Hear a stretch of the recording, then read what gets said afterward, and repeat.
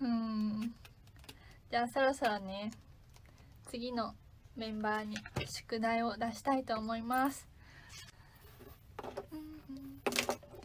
そうだ。次のでもメンバーさんがまだ未定なので皆さんどんな宿題がいいですか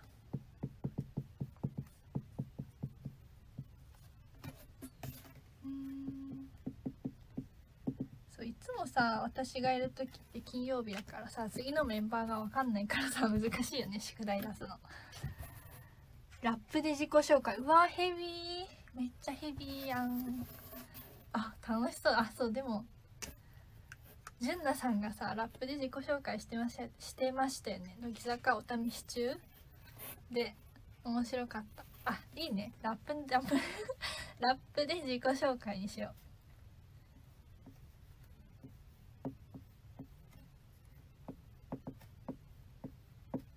やだなこれ来たら。ごめんなさい本当に。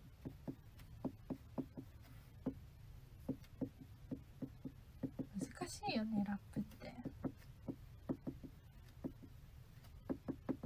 はい次回のメンバーさんへ、えー、ラップで自己紹介お願いします。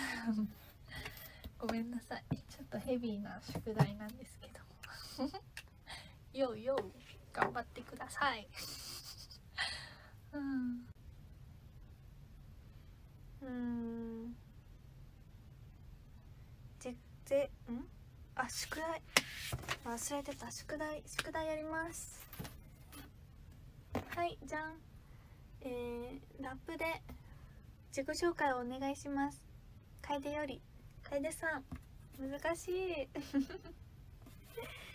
最初これなんか RAP って見えて。調べたんですよ。RAP とはって。そしてあのマネージャーさんに聞いたらラップでした。まさかローマ字でラップと書いてあって。そう。ラップ？えー、でもあデモとかじゃないです。あの難しいですね。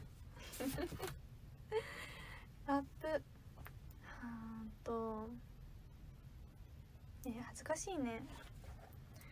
えー？えー、恥ずかしい。ようようようようってことですよね。ね難しい。ようよう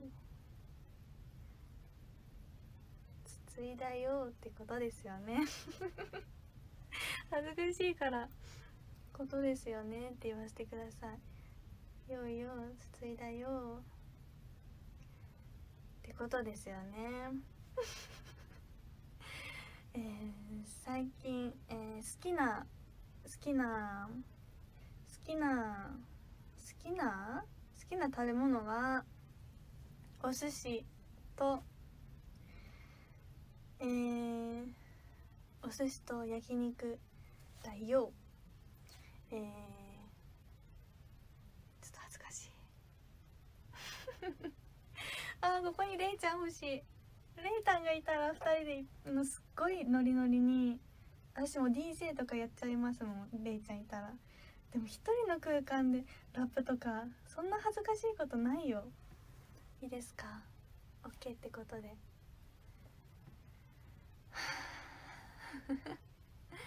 OK ってことにしてください、えー、好きな食べ物は焼肉とお寿司です。覚えておいてください。あとはえな結構あるんですけど好きな食べ物あげたら。あの大学芋も好きです。甘いもの全般大好きです。チョコも大好きです。今日も食べました。いいですかね。ごめんなさい。またじゃああのれいちゃんがいつか一緒にできたら一緒にやりますので。終わりだよ